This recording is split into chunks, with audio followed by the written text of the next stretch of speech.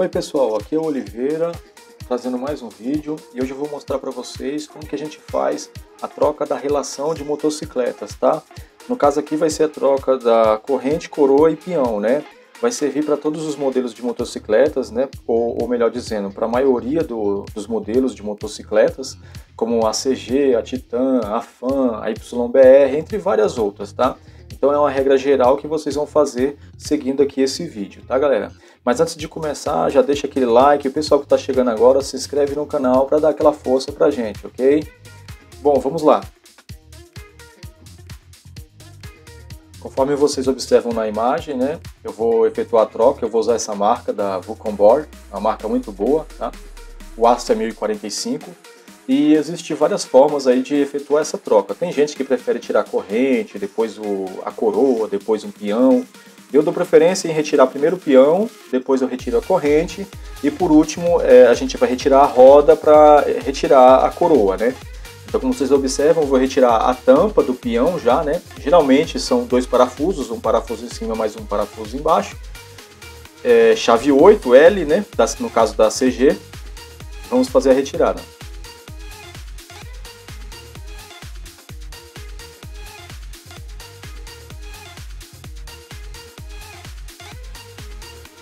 Aqui a gente já consegue observar o peão, então a gente vai engatar a moto, né? Deixar ela engatada. E geralmente no peão ali são dois parafusos, que aí no caso é a chave 10. É só retirar esses dois parafusos e em seguida vai ser retirado uma trava que segura o peão.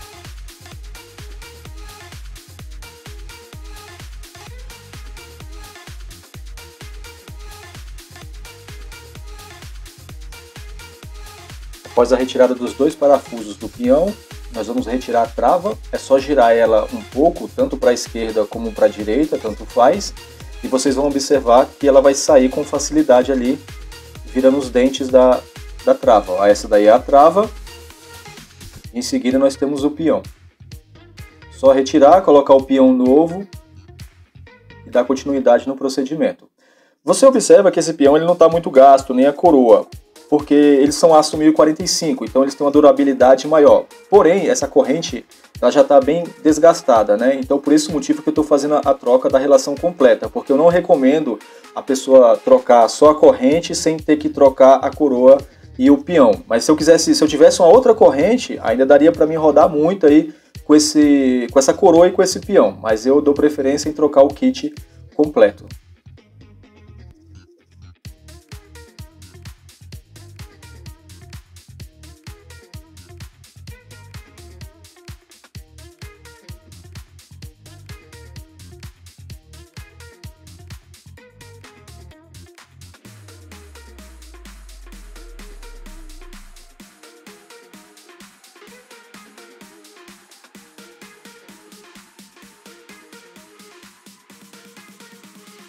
Só uma observação aqui, antes de iniciar todo o procedimento, é bom é, soltar um pouco esse eixo da roda para que a gente consiga empurrar a roda para frente e deixar a corrente um pouco folgada para facilitar a troca do peão, da corrente. E por último, a gente vai estar tá retirando essa roda para efetuar a troca da coroa. Uma dica para quem usa chave combinada, né? Você observa que de um lado ela é estria e do outro lado ela é boca. Quando vocês forem apertar ou desapertar, usem a parte estriada, que é aquela parte tipo anel. E depois que tiver com a porca já folgada, aí pode utilizar a parte de boca, que é a parte aberta.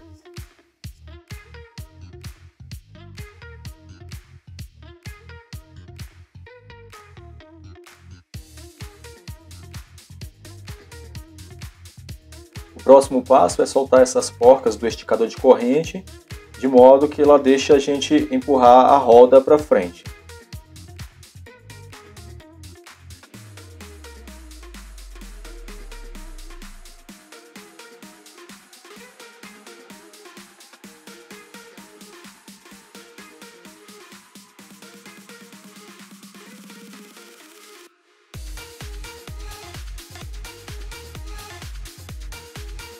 para ficar mais fácil de encaixar o peão e nós vamos fazer o sentido inverso que a gente fez para retirar o peão. É só colocar agora a trava, né? Lembrando que tem as estrias ali. É só colocar na posição, girar e colocar de volta os dois parafusos.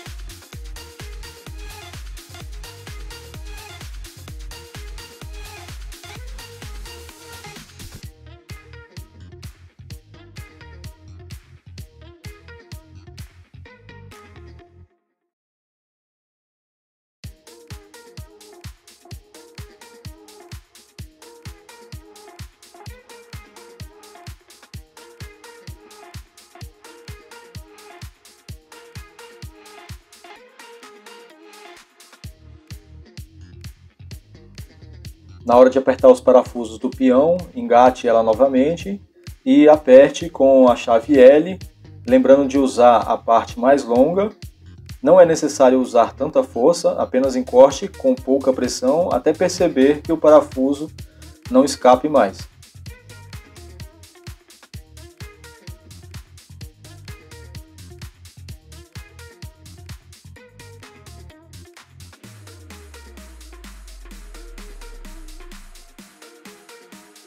Agora nós vamos abrir a corrente, eu vou abrir a corrente velha para poder encaixar aí a corrente nova. Para isso a gente tem que procurar a trava da corrente, tá?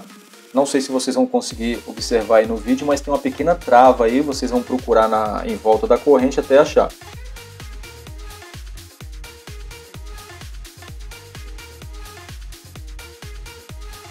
Para retirar a trava é bem simples, com um alicate comum a gente consegue fazer essa retirada. Como vocês observam aí, ela é uma presilha bem fina e depois vem uma chapa mais grossa. A gente retira as duas e retira o gomo para poder retirar essa corrente velha e depois encaixar a corrente nova. Observa a posição que ela está, essa posição aí está errada. Então, quando a gente colocar, é na posição que estava originalmente, que é essa posição aí, ó. Essa é a posição correta. Quando for colocar a nova, tem que colocar na mesma posição. Agora a gente retira a outra chapa mais grossa e sobre a corrente.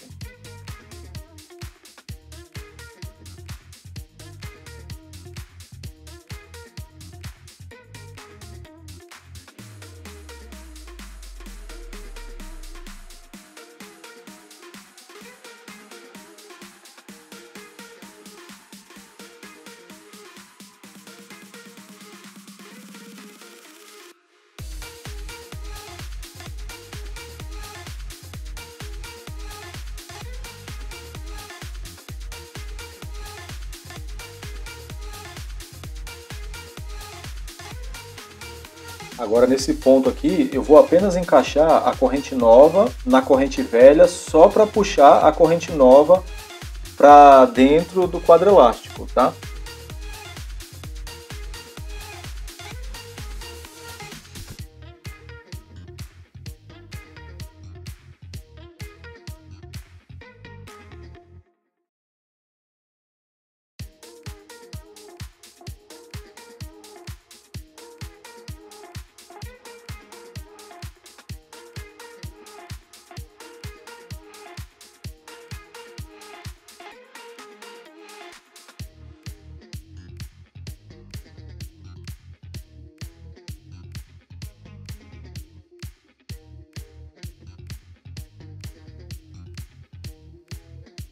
Agora nós vamos colocar a trava da corrente nova e emendar ela novamente. Então a parte da corrente já está concluída. Agora nós estamos com a corrente nova. Depois, por final, depois que a gente trocar a coroa, nós vamos esticar a, a corrente aí uma regulagem correta. Lembrando, gente, na hora de colocar a trava que tem a posição correta, tá? A gente vai colocar primeiro a essa trava mais, mais grossa e em seguida vai ser colocado aquela outra trava mais fina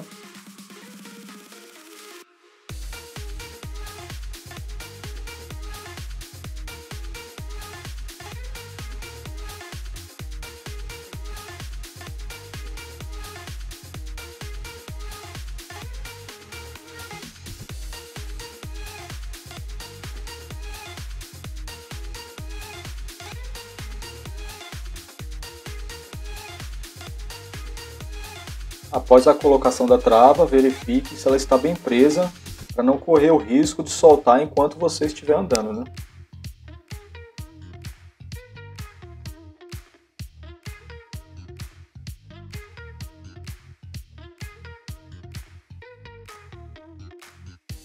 O próximo passo é efetuar a troca da coroa.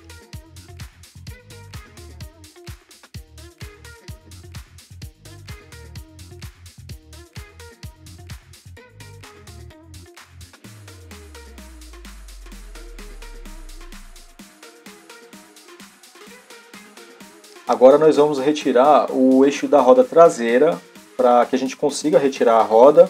E é bom também retirar aquela porca da vareta de freio, porque aí facilita na hora de puxar o espelho ali, fica mais fácil de retirar a roda por completo.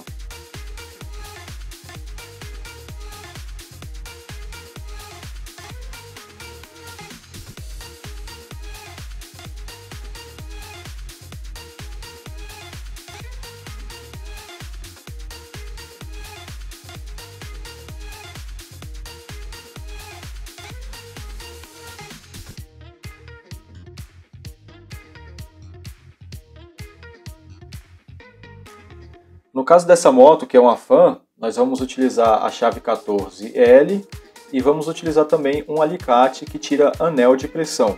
Nós vamos retirar o anel de pressão da coroa. Mas antes de retirar esse anel de pressão, nós vamos é, folgar um pouco as porcas da coroa para facilitar na retirada. Dessa forma, não há necessidade de prender a coroa na morsa. Na própria roda, a gente consegue ali folgar as porcas e depois só tirar o anel de pressão e retirar a coroa para colocar a coroa nova.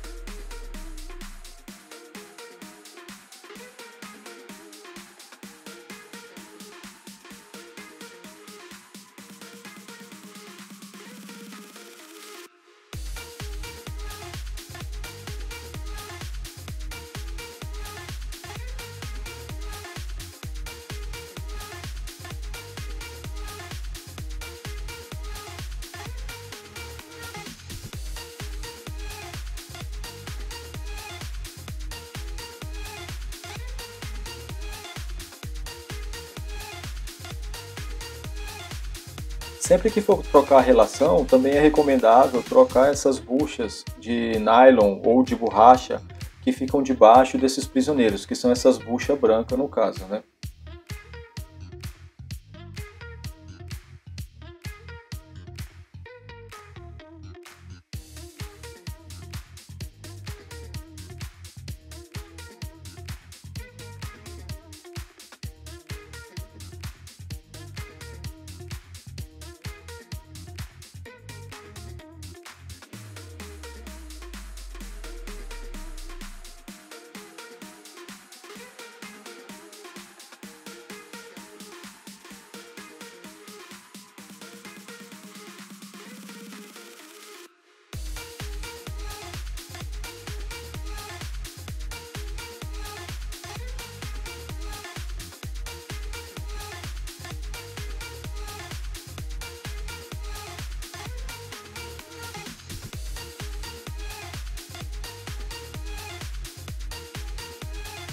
Nesse ponto aqui, pessoal, vocês observam que o prisioneiro ele tem uma posição correta. Então vocês devem deixar alinhado junto com o corte da coroa. Em seguida nós vamos colocar a porca e encostá-la até o final. E o aperto nós só vamos dar quando colocar a coroa na roda. Então vocês observam aí o encaixe correto. Vamos fazer isso com os quatro prisioneiros, encostar a porca deles, depois encaixar a coroa na roda e fazer o reaperto da coroa.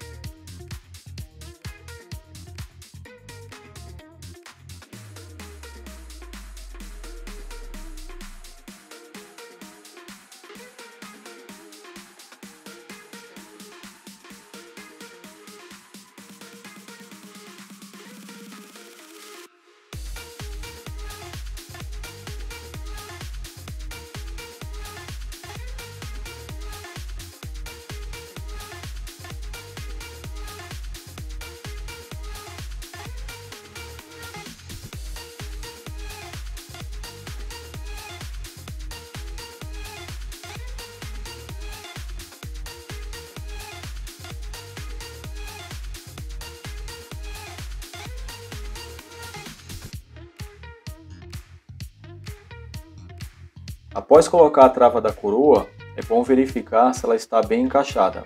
Eu costumo bater com o eixo ali para ver se ela encaixou ali totalmente. Se caso não encaixar, a gente vai batendo até observar que ela ficou bem presa, de modo que essa coroa não venha se soltar quando estiver na rua, né?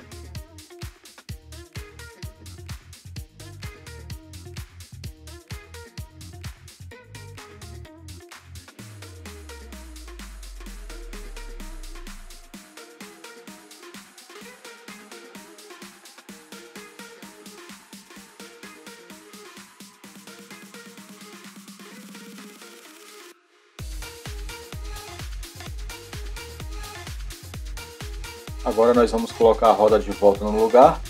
Nesse ponto verifiquem se ficou todos os rolamentos no local. Às vezes acontece de sair o rolamento. E vamos colocar o eixo de volta.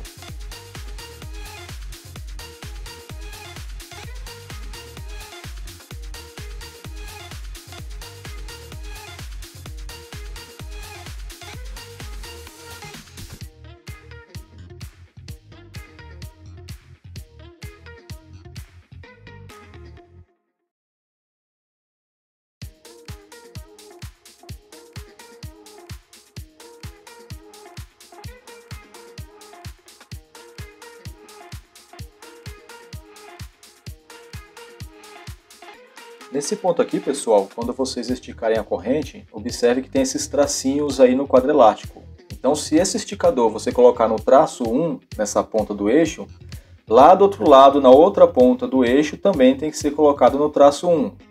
E assim por diante. Colocou no traço 2 desse lado, lá na outra ponta coloca no traço 2. Desse modo, a roda ela vai ficar alinhada, ok?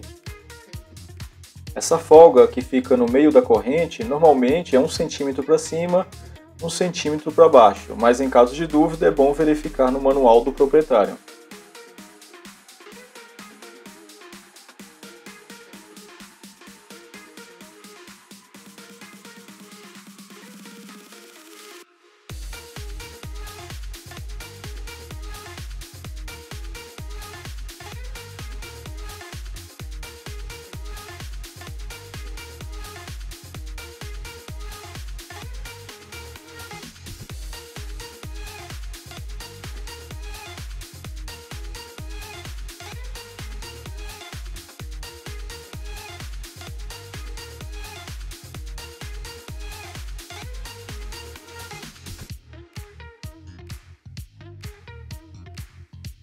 Esse tensor aí que vocês estão vendo, que eu vou encaixar agora na corrente, isso daí é uma adaptação, tá? Que o pessoal faz para eliminar a folga excessiva da corrente. Então isso aí não é obrigatório, mas quem quiser colocar é só pesquisar aí na internet que vocês conseguem achar, galera.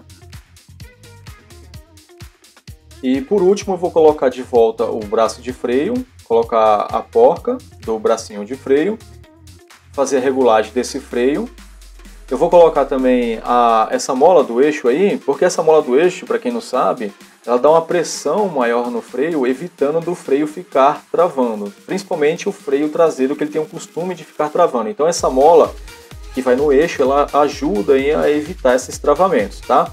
Então eu deixo o vídeo de hoje por aqui, espero que vocês tenham gostado. Quem ainda não é inscrito, não esquece de se inscrever, deixar o seu joinha, fiquem com Deus e até a próxima.